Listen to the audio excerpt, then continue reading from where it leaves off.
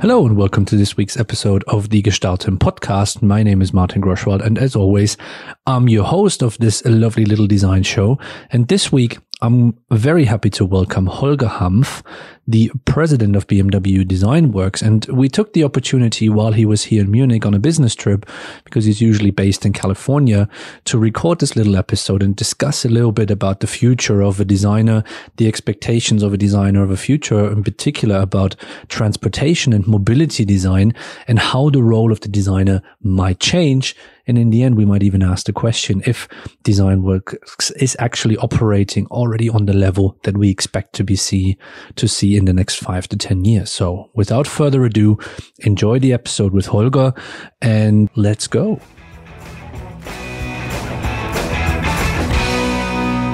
Hello, Holger. Welcome to the Gestalten podcast. Pleasure to have you. How are you? I'm fine. Thank you. Thanks for asking. Yeah, it's good. Sun is out sun is out. You, we are actually, we're actually here in Munich. Usually you're in California. You're on a, on a visit home at the moment. Uh, and you brought the Californian sun back to Bavaria. And yeah, it's an absolute pleasure to, to have you in the, in the conversation. And you are the president of Design Works. And obviously a lot of people know that Design Works is also affiliated with uh, BMW. However, we want to talk a little bit more about the role of Design Works overall and uh, what what it plays and what might it have as in a, uh, a direction of the future of design studios as well. And let me start off with probably the easiest questions you will get for me today. You have been in the States for a few years now. You have a studio in California, you have one over here in Munich as well.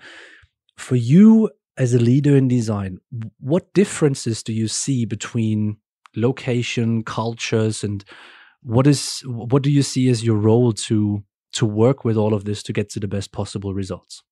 I, I believe that the environment and the cultural context makes a, a big difference and has a, an influence on how we design and what we design.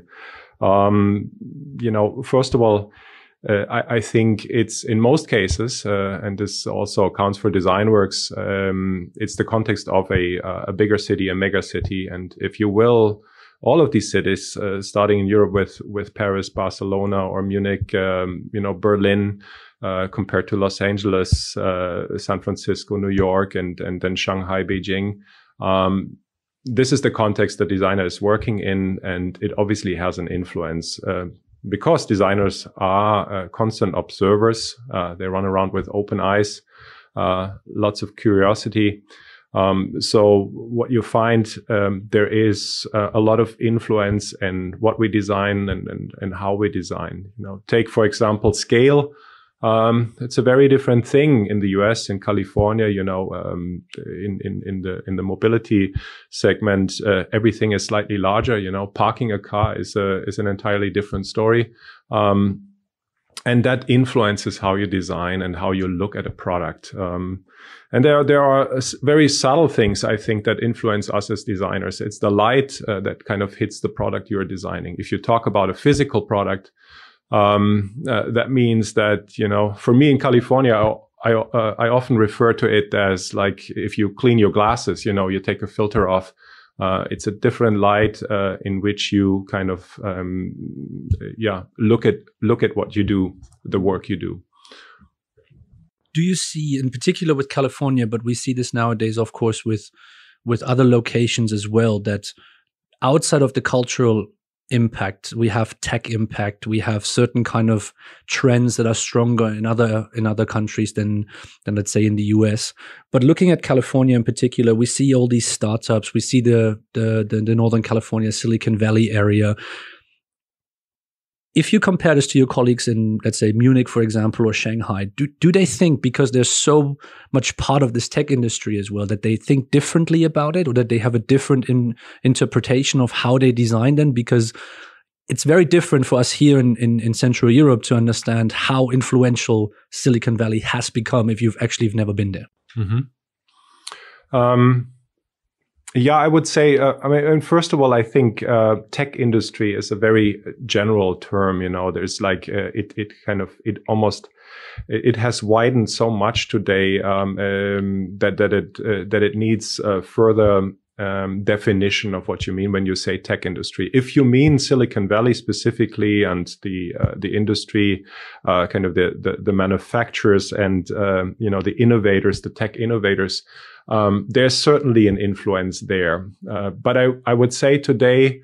Um, kind of uh, all of these boundaries between design and tech and innovation have blurred quite a bit. You know, if you if you look at car companies, for example, and how we as automotive designers are influenced by the tech industry, I, I think, you know, the uh, partially it is uh, it has become difficult to to say that a certain company is a car company or a tech mm-hmm. company or a software company. You know, I think it's it happens all at the same time in a very integrated fashion. At least with the companies I think that are successful at doing it.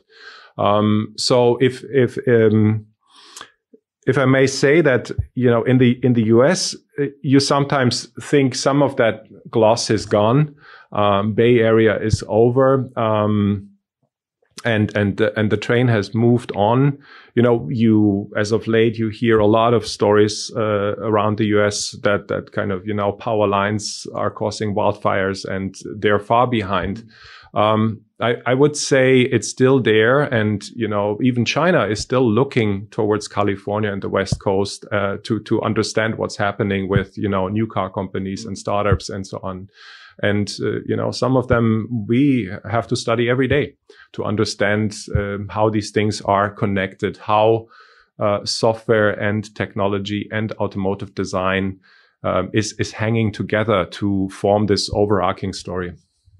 So if we take the overall topic of automotive design, expanded a little bit to mobility design, yeah, because obviously nowadays we don't just talk about a car anymore. We talk about all different kind of vehicles that enable us to get from A to B uh, in that context as well. How has the the actual role of a designer changed? Because obviously you started off as a traditional car designer as well. Now you have much more insights on other things as well if you would kind of summarize it a little bit for the last 10 15 years what, what were the major changes that designer had to go through of what is expected from them now? And where do we maybe see this continuing in the next years if uh, you know for for for for new expectations of designers? Mm-hmm.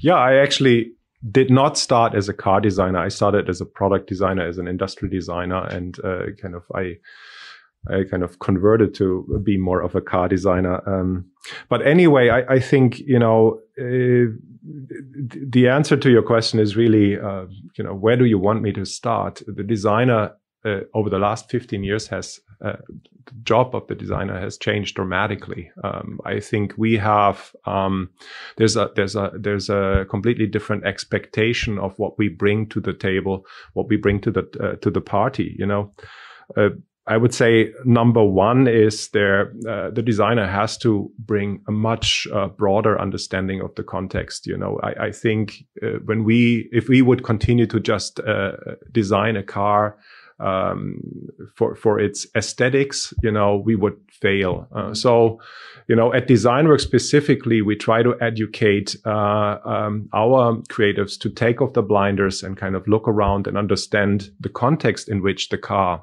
exists and in the future can uh, continue to be successful um, as a product. So um, you you kind of have to observe changing user behaviors, desires, and, and needs, and so on, and that allows you to design a good product. In order to do so, you kind of need to leave um, that kind of focus and and kind of widen your your viewpoint.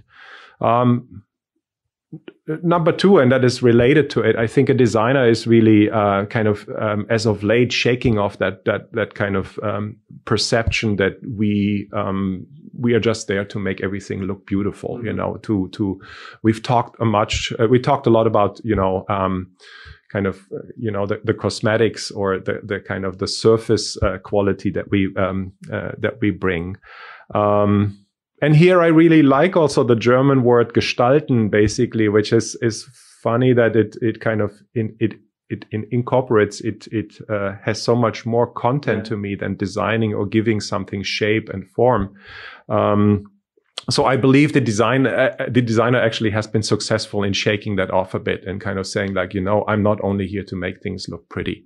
Um, thirdly, I, I would say uh, if I look at, at the entire discussion um, around, you know, circularity and uh, responsibility, sustainability, I believe the designer has to um, um, go about it with much more kind of attention to um, how a product is being put together, the materials that are being used to put it together. Uh, you know, I, I, think it almost feels like uh, since I'm doing this uh, um, since since a since a little bit, uh, of time, it feels like it's repetitive. We've had that kind of discussion before, but it wasn't successful because sustainability and these type of topics, they were always uh, kind of to the disadvantage of the consumer. You know, mm-hmm. it was always about giving something up that you actually enjoy. Um, especially in automotive, you know, um, you, you kind of constantly think like, okay, this, this whole uh, trend of electrification, what, what's in it for me? Um, and that is changing, you know, and the designer, I think also has found ways of combining the two things, of creating very, very emotional and, uh, and, uh, you know, desirable products and at the same time do something good for the planet. Um, so again, it's a responsibility and that's changing. And maybe lastly, I would say that at DesignWorks, we talk a lot about the system uh, of, of kind of understanding more complex uh, assemblies and um, uh, to, to say, okay, let's think less about the artifact uh, and and think about like how are things hanging together you know? One of the simplest example or let's stay with automotive you know? If we don't think about infrastructure and charging and how to pay for a charge at the same time as we think about the car the whole thing will uh, fail you know? So I, I think again thinking in systems is becoming very very important for a designer and um, looking at things um, in parallel so to say.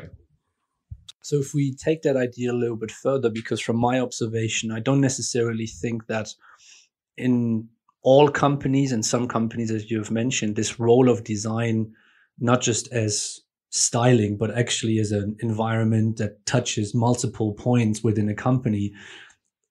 I, I don't necessarily think we're 100% there yet. So what, what do you still think right now is that the designer has to, to, to convince the superiors, the bosses, the C levels to say just like, okay, maybe um, it leads to a, a, structural change, maybe in companies, maybe it leads to something completely different. Because I, if we look at like you know marketing nowadays, you still see a design chief standing there explaining the car and the shape and everything like that. But we don't necessarily talk about the environment overall just yet. Is that we that we maybe need to have an increase of intellectual understanding from design or expect more from the designer intellectually to get to this kind of level?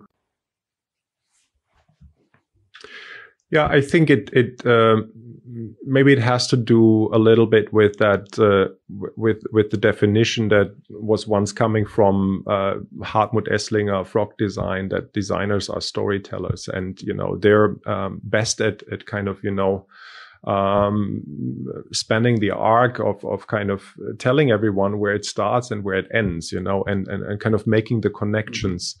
Um, and this is something I, I would say is still, uh, is still true. Um, um, I, I, think maybe the term storytelling in of itself has been overused a bit, but um, I, I, think the designer is very well capable to not only visualize a future, but to also talk about the future in a very convincing way. And and and that is probably um, one of these things that that it, it feels very natural if you hear it from a designer from a creative because they almost uh, kind of have lived this future um, through their through their creations. Um, so I, I, feel yeah there is there is uh, also a responsibility in that um, that we learn to present and to kind of you know uh, calmly convince an audience that you know this this is very real uh, that what we are putting on the table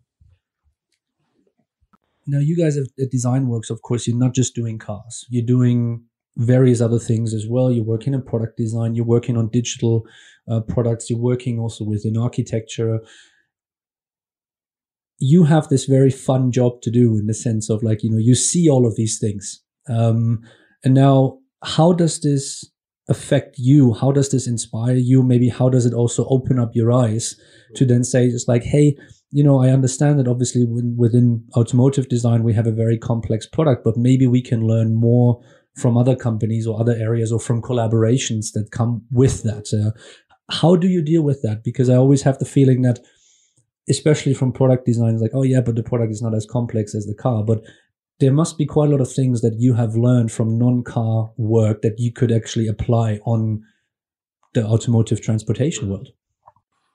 Um, yeah, it it um, it's I think one of the great things about DesignWorks, um, and as a matter of fact, we are working right now on a on a super interesting project that is called Architecture and Mobility, and and it goes uh, very deep in in kind of investigating how actually architecture and the car or any type of urban mobility concept fit together, you know, and how they play uh, with each other. Um, so definitely the work is very inspiring. But I would say where it starts is you have to um, uh, kind of awake, uh, like awake the uh, wake the interest in your design team to kind of open up and embrace um, to look at many of these different um, you know disciplines and and industries. Um, so it starts with like someone who um, who comes to your organization and is very determined to become a good car designer or something. And the next thing is basically you have to push the reset button and say like, well, let's forget about that for a second and look at all these other things at your disposal at DesignWorks, you know, the opportunity of working with an architect or a fashion designer and so on, you know, opens uh, your pores to kind of, you know, uh, to, to, uh, yeah, uh, take in uh, inspirations that at the end actually allow you to create something truly new. Um, because otherwise you're just continuing the paddling the same water and, you know, maybe your sketch is a little more beautiful than the sketch of your neighbor and so on. Um, so we're trying to educate our teams at DesignWorks uh, to embrace, uh, you know, a, a cross discipline le- learning you know to say you know there, there's much to learn if you if you have a, a good talk or, or a chat with a designer who is actually uh, foreign to automotive design for example you know. And um, we're building new relationships we're building new teams and um, I, I, think at the end the collaboration and the cross discipline collaboration is the path to success for us to create something new.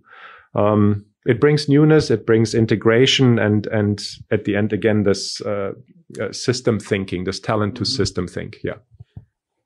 If we take this a little bit further now, and we talk about vehicles. Yeah, we see the developments of autonomous drive. We see you know alternative ways of getting from A to B, electric, um, hydrogen.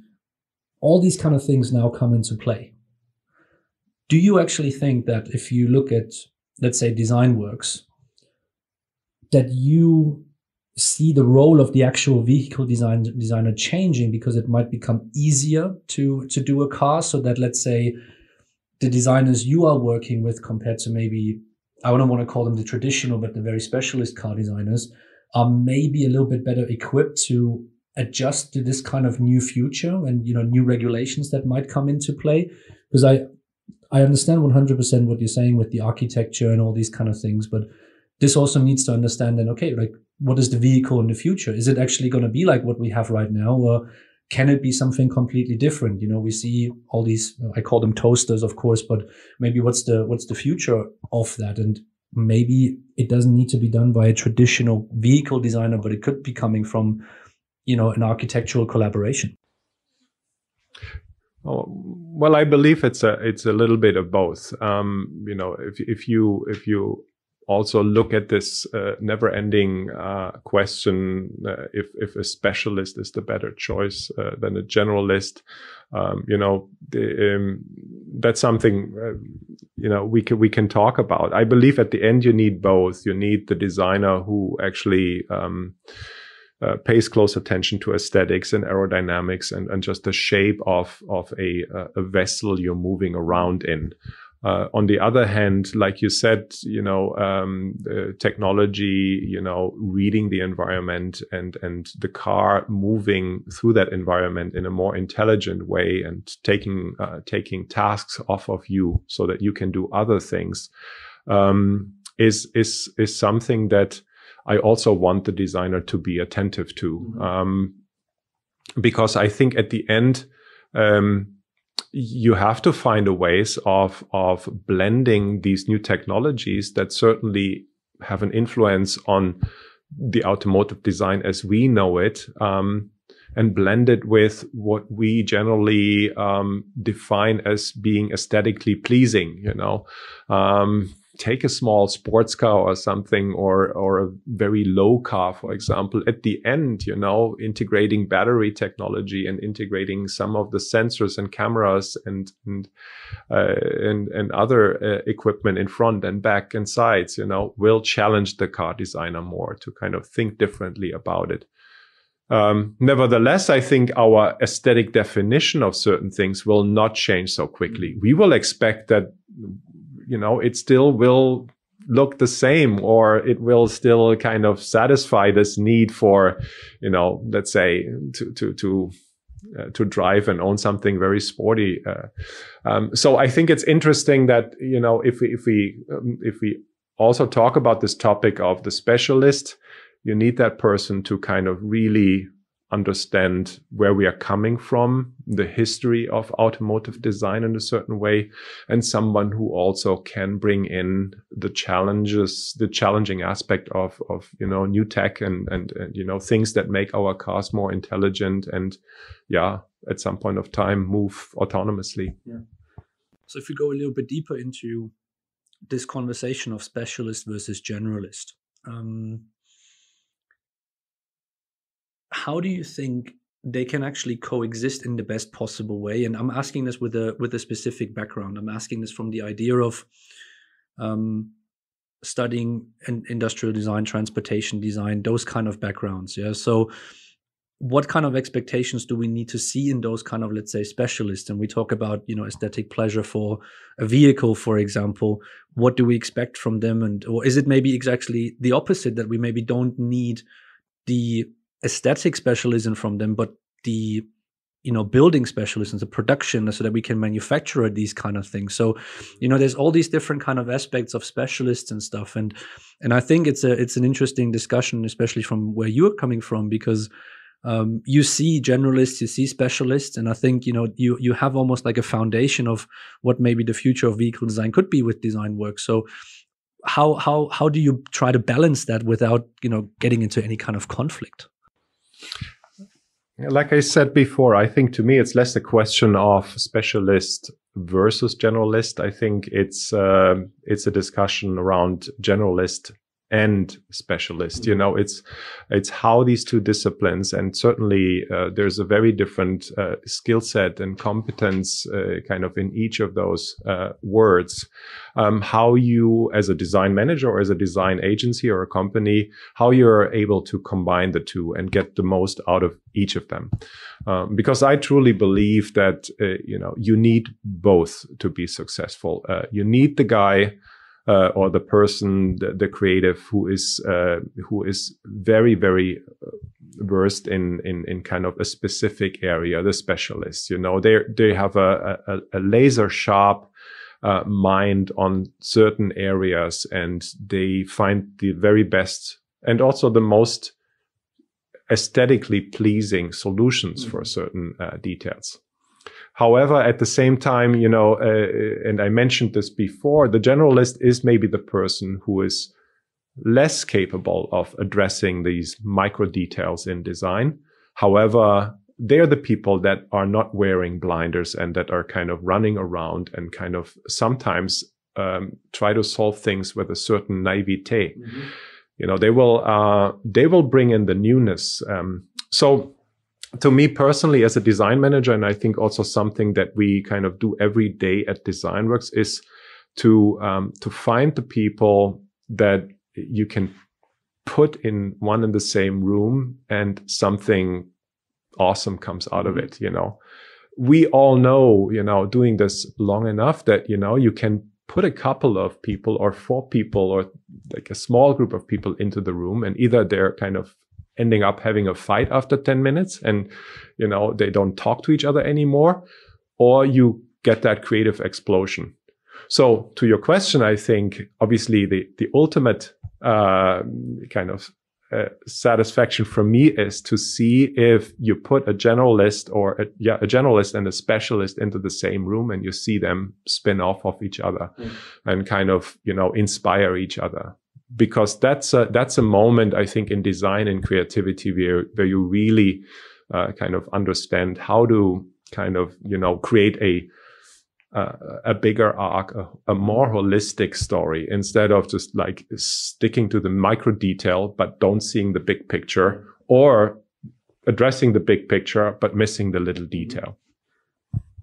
When we, when we take this holistic point of view, because I, I do find this very interesting and, you know, if we take again the idea of a specialist and a generalist towards that as well, design nowadays becomes obviously, we talked about this before, much more you know about collaboration as well collaboration with different departments as well such as marketing is a big one that obviously is mentioned quite constantly but we're talking also about collaborations between what you have in your hands so the physical product the digital product the engineering and everything the branding that goes goes in there. Now if we look a little bit ahead into the future and there's a lot of talk about experience as well. Um, do you think design can be the one that maybe unites all of this and all of these competencies or i don't even want to say lead because i think it's a collaboration in general but guide this collaboration a little bit? Because at the moment i think a lot of people think oh you know marketing is quite heavy in guiding what should be done. But then you have other people in the past that steve jobs said just like you know um, we don't need that much marketing because you know the people don't know what they want uh, which is a very design objective in that context. So um, do you think design can take on that kind of role in larger organizations within vehicles as well? Because that's where it becomes difficult. I think you know when we talk about phones okay fair enough but vehicles it sometimes can be very tricky so it, i think you know fully design led is almost impossible but a very strong design orientation could be something that could be achieved in the next 10 years or so mm-hmm.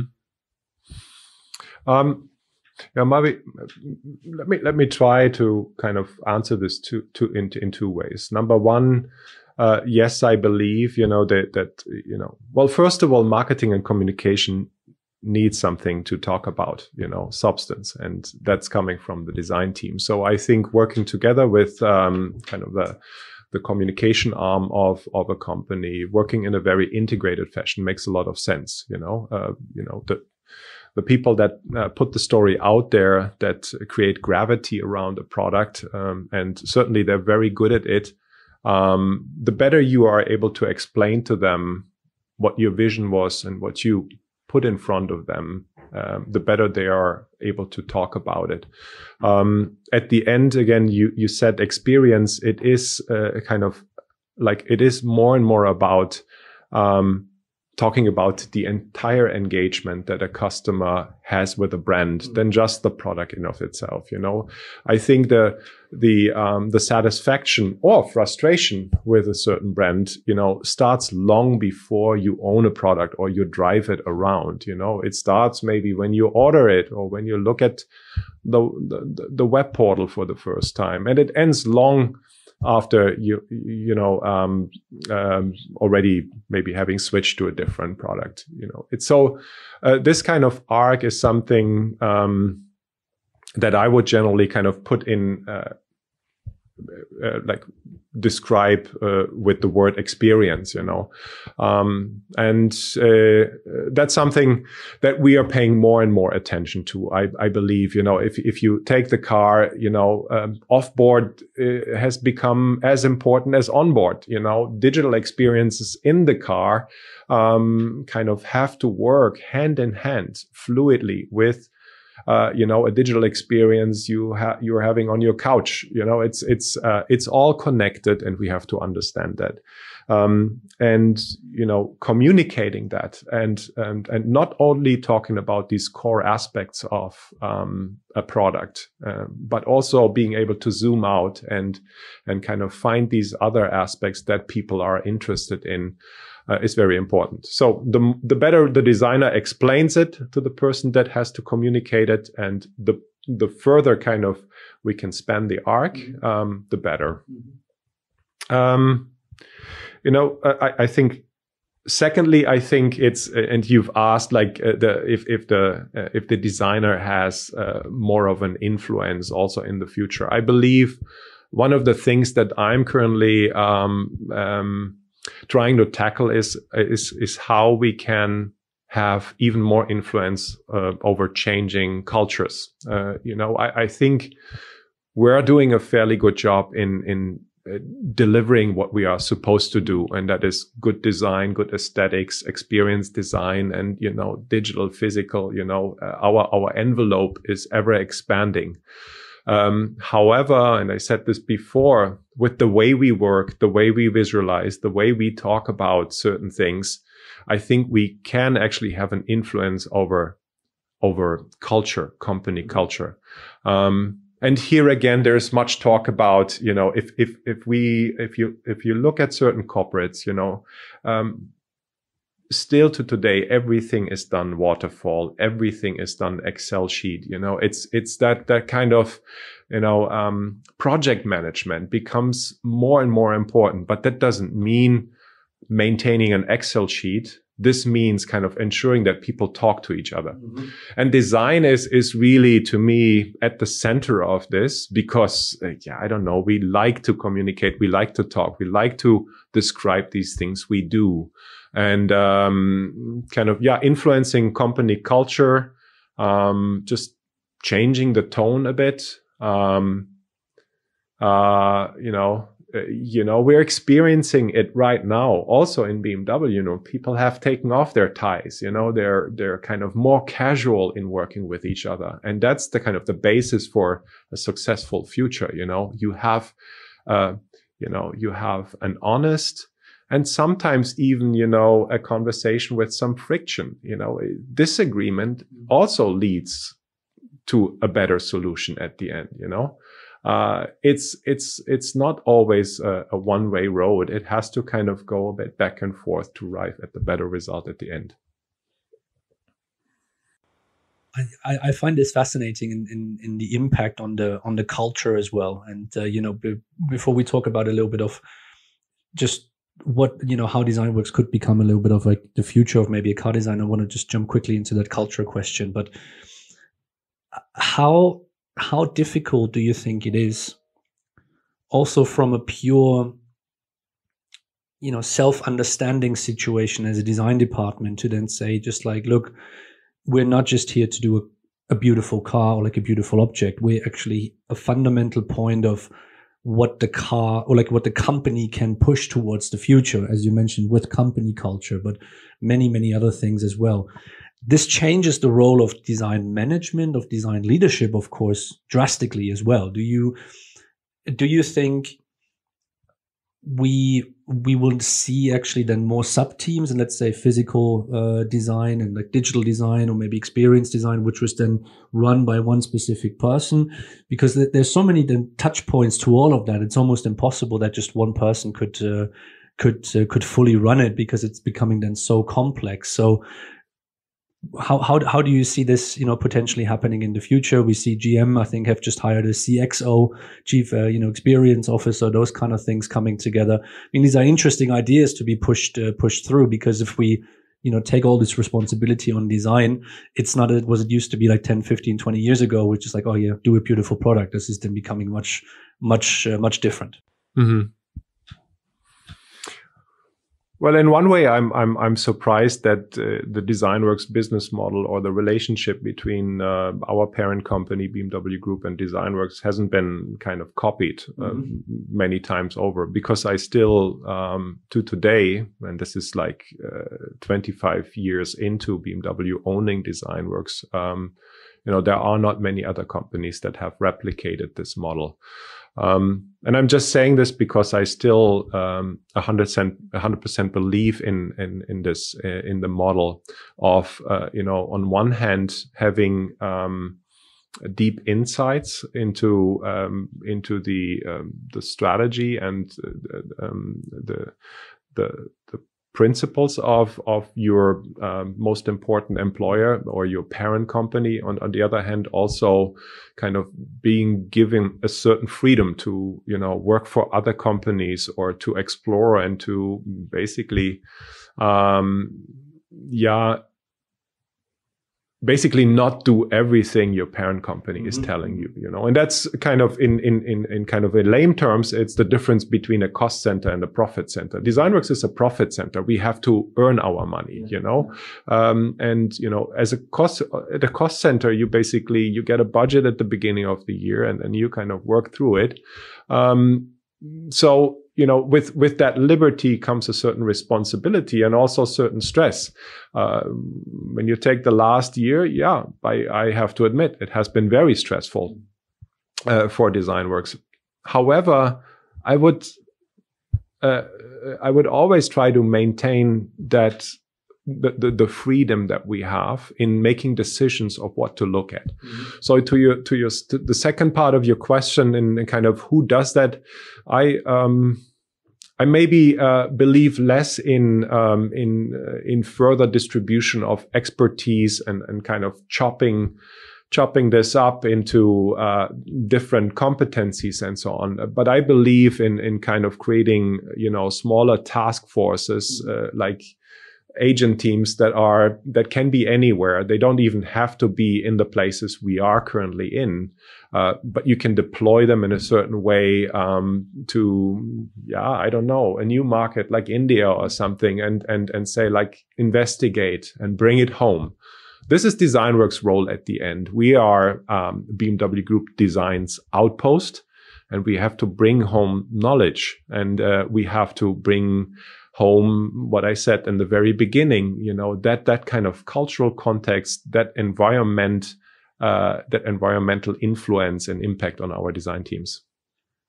So let me come to like the, the last bigger question towards this because this follows up quite nicely. If we post a very provocative question and say in all what you have explained so far and the flexibility that you have and let's say the commitment that you also receive from from BMW as well you mentioned that you know you're surprised that not more people have copied that kind of system. Do you actually say that the design work system that you run right now could also work without an internal BMW system so that other companies in the future could say like maybe we don't need this full internal system but something that is flexible something that not just works for us. A little bit more like you know um, if we go back in car history like the carrocerias um, back in the 50s to the 80s the zagatos like the when Pininfarina was in his heyday where the people went to and just like no you, you do it for us. And uh, we want to see what you come up with. We give you all the input that you require um, it's almost a little bit like Back to the Future, you know, in, in, in, those kind of regards. Um, yeah, I don't know. I think uh, since back then, um, you know, things have gotten a lot more complex. Mm-hmm. I would say, you know, the car in of itself, one of the most complex uh, products or kind of systems uh, one can uh, one can design or you know and and, and develop. Um, so I would say it, it, needs like I think we've come away from um, the designer signing the sketch and saying like you know I did it. Uh, we are now uh, kind of understanding that it's not the work of a single person. It's always you know. And I believe one of my colleagues, Benoit, talked about it. Uh, Benoit Jacob, uh, who I worked with, you know, it's always the work of a, of a, of a smart group of people that have put their heads together to kind of get the best result. Um, so I think in comparison to uh, the 50s and the 60s, you know, where still that mentality of, you know, signing for a certain sketch and a certain aesthetic, um, was kind of the the holy grail in a certain way in in uh, especially in automotive design you know, and don't get me wrong, I really enjoy looking at this and I, I kind of, I can, I can look at these books and I can really, uh, yeah, get a blast. However, I think today, you know, systems have gotten a lot more complex and I would say it needs that uh, you know, the kind of the nucleus, the powerhouse that then is maybe fed by the outside with influence and inspiration. And, you know, this company like Designworks, all we're trying to do is to create certain impact in Munich mm-hmm. and say kind of, you know, how can we kind of, you know, um, like push this a little bit more left or right, you know, with our ideas. And that's, uh, you know, it sounds simpler than it is, but you know, it's it's first of all, it's very satisfying, and uh, to me personally, to the design team, you know, to to even see kind of that you have the slightest influence over, you know, a corporation of that size, a company, uh, um, and and and their products. Um, but at the same time, I also um, admire, you know, or, or, I understand the complexity I'm dealing with, mm-hmm. you know, and uh, yeah, in this way, um, I believe it's it's a good role. It's it's a it's a good role to play. And uh, with that, also, you know, the, the relationship between uh, DesignWorks and BMW Group couldn't be uh, any better. Uh, uh, like it, it's really a lot of fun to to work together. And uh, like I said before, always make sure that you find each other's strengths and you kind of you use them accordingly. Thank you very much, Holger it's been a, an absolute pleasure to have you. Um, but before I let you go, as everybody, and you mentioned Benoit uh, obviously earlier as well, and uh, he got three magical questions, if we want to call them that way. So, personal question number one for you is which creative mind, and this doesn't need to be somebody coming out of you know the traditional design industry or whatever, has inspired you personally and professionally the most? Oh, which creative mind? Um, you know, I, I personally uh, kind of have many interests uh, in in terms of you know um, uh, creating for an audience, um, and and uh, I always use the two examples. You know, um, I enjoy good food and I enjoy good music. Um, and you know, I, I constantly kind of pull inspiration from a good musician, a good band, and uh, kind of uh, certain lyrics. Um, yeah, and and uh, the, I, I cannot even name a specific person um, at this point, but I would say um, true to um, my um, desire to kind of you know cast the cast the net wide, wide and and kind of um, look at architecture, look at music, and look at all these different influences and see how they enrich what I do and what we do at Design Works. You know, I yeah, I find new inspiration every day. Cool. Question number two Which project that you have not been part of, and again, doesn't need to be design related, could be anything, would you have absolutely loved to participate in? Um, here I would say it would be something uh, in, in, architecture, uh, a building, a museum. Um, you know, I think there are some places that attract audiences to look at art and so on. I would say, I don't know, there there are a few uh, great museums um, that I would have liked to kind of contribute to uh, a building that um, you know becomes a bit of a yeah uh, a temple um, where where people go to and they enjoy the space and they enjoy looking at uh, the content uh, that's presented there. Yeah. Any specific one that comes to mind?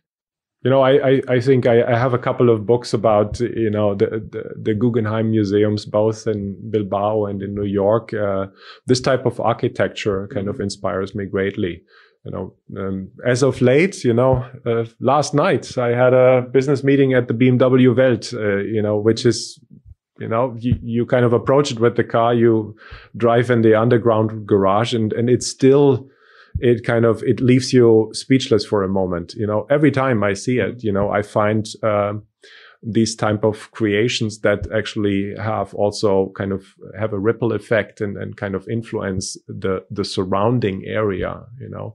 Um, how that thing sits next to the uh, olympic uh, mm-hmm. park area i still find it very inspiring I agree. I mean, you know, I'm a massive football fan, as you as you can probably see on my wall. Um, so I, I, I 100% understand where you're coming from. And last but not least, if I give you a blank check, which car would you buy? Oh God, which car?